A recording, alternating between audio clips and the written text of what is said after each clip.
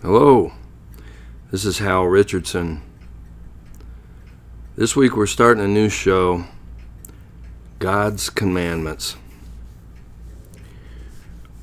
In this session, we're going to discuss the commands of God. We're going to look at things from the standpoint of the basic to some of the deeper meanings of God's intents.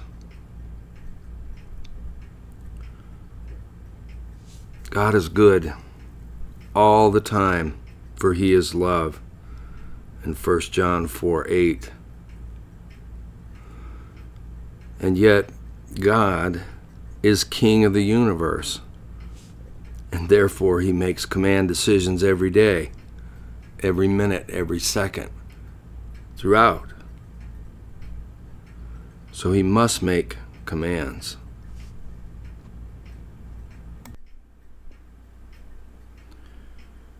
God commanded space, time, and matter into existence. In Genesis 1 1, says, In the beginning, God created the heaven and the earth. Well, space here is the heaven, matter here is the earth, and time here is the beginning. He also commanded the light to come forth. In Genesis 1 3, he said, And God said, Let there be light. And there was light. In the Hebrew, it's a little more blunt.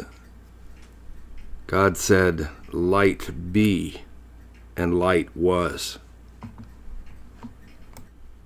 He commanded the elements that he'd made, and he commanded the plants to come and grow, and he commanded the fish in the oceans, and he commanded the animals to come forth on the earth. But when God decided to make man, he made him with his own hands.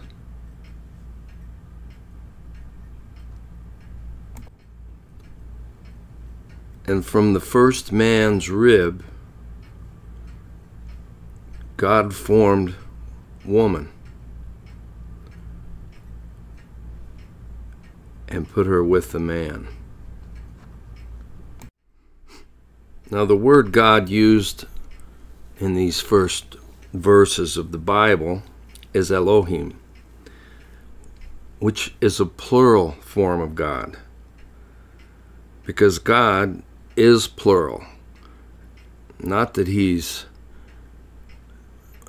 more than one God, he's just three persons in one God. Just like you are three persons in one body your body, soul, and spirit. And God is the Father, and God the Son, and God the Holy Spirit. And so God made man in his own image. And he made them male and female. He called the man Adam, and Adam called the woman Eve. God placed them in the Garden of Eden, which he had planted, and he gave them this command.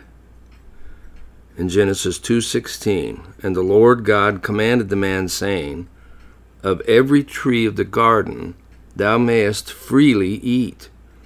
But of the tree of the knowledge of good and evil thou shalt not eat of it, for in the day that thou eatest thereof thou shalt surely die.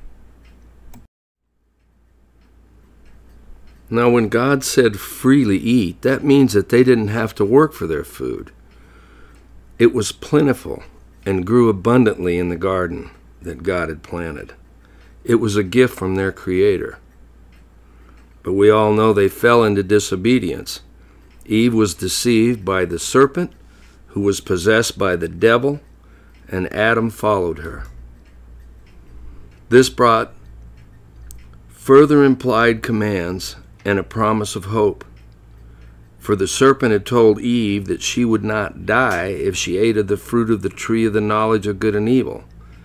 Yet God had told Adam that he would die. So God promised a coming Messiah that would deliver man from the power of Satan over the world which Adam had given away when he ate the forbidden fruit. In Genesis 3:15, God says, "And I will put an enmity between thee and the woman, and between thy seed and her seed.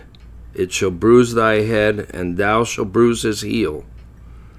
Now God was talking to the serpent, or to the devil that was in the serpent. Now God had told Adam that he would die if he ate the forbidden fruit. But God is good and merciful. So he killed animals and let their innocent blood atone for Adam and Eve's sin from year to year. And thus the sacrifice was established by God. In Genesis 3:21, unto Adam also and to his wife did the Lord God make coats of skins and clothe them. Now this covered their sins with the lives and the blood of the innocent animals, but it covered their bodies as well. For outside the garden the elements were harsh and it was cold.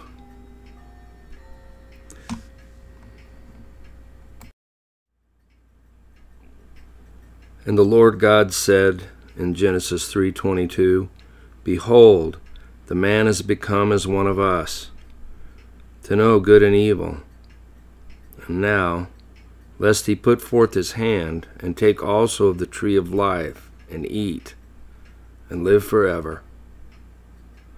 Therefore, the Lord God sent him forth from the Garden of Eden to till the ground from whence he was taken. So he drove out the man, and he placed at the east of the Garden of Eden cherubims and a flaming sword, which turned every way to keep the way to the tree of life. God had revealed himself to Adam and Eve and walked with them in the garden, and he had told them of the eternal gospel written in the stars you can see my blog on the same of, of the Gospel in the Stars and also on YouTube. The next commands were given to Noah. First was to build the ark and to save his family, his wife and his sons and their wives. The earth had become so corrupt. This was ten generations after Adam and the earth was beyond redemption, and God chose to save these eight people to, to save mankind. In Genesis 6 8, but Noah found grace in the eyes of the Lord. These are the generations of Noah. Noah was a just man and perfect in his generations, and Noah walked with God. And Noah begat three sons, Shem, Ham, and Japheth.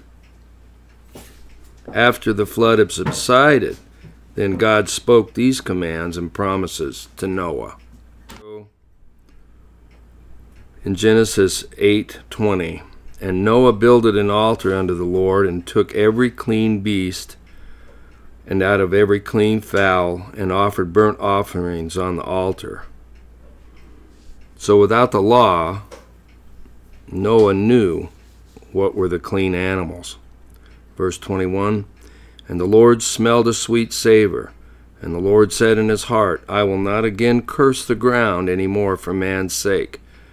For the imagination of man's heart is evil from his youth. And neither will I again smite any more everything living as I have done. Verse 22 is a promise of seed time and harvest. While the earth remaineth, seed time and harvest, and cold and heat, summer and winter, day and night shall not cease. Zero. Next was to be fruitful and multiply, Genesis 9 1. And God blessed Noah and his sons, and said unto them, Be fruitful, and multiply, and replenish the earth. Next was they could eat meat, but no blood. Verse 2 of Genesis 9 And the fear of you and the dread of you will be upon every beast of the earth, and upon every fowl of the air, and upon all that moves on upon the earth, and upon all the fishes of the sea. Unto your hand are they delivered. Every moving thing that liveth shall be meat for you. Even as the green herb I have given you all things. But the flesh with the life thereof, which is the blood thereof, you shall not eat. The life is in the blood, which is not to be eaten, according to Leviticus 17:11. But God told Noah this beforehand. Murder and capital punishment, and I will I will surely your blood of your lives will I require at the hand of every beast will I require it, and at the hand of man, and at the hand of every man's brother will I require the life of man. Whosoever sheddeth man's blood, by man shall his blood be shed, for in the image of God made he man.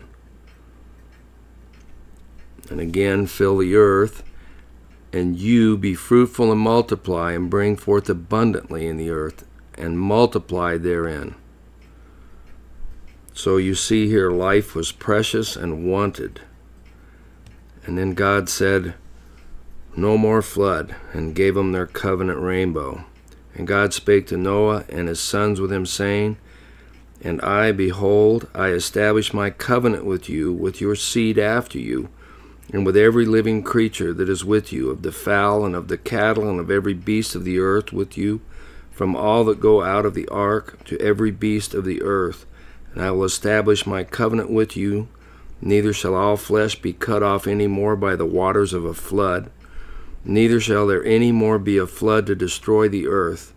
And God said, This is the token of the covenant which I make between me and you and every living creature that is with you, for perpetual generations. I do set my bow in the cloud, and it shall be for a token of a covenant between me and the earth. And it shall come to pass, when I bring a cloud over the earth, that the bow will be seen in the cloud. You have to understand here that before the flood there was no rain, only heavy dew every day in Genesis 2 5. Verse 15 And I will remember my covenant which is between me and you and every living creature of all flesh, and the water shall no more become a flood to destroy the earth. And the bow shall be in the cloud, and I will look upon it, that I may remember the everlasting covenant between God and every living creature of all flesh that is upon the earth. That'll conclude this lesson. Next week we'll continue with those that were before the law, but yet God gave them laws. And uh, I want you to join me then. We'll be studying about Abraham. If you don't know the Lord Jesus Christ, I invite you to ask Him into your life today. He is the center of the Word and the center of all that we're studying. This is Hal Richardson. Join me again next week. Bye.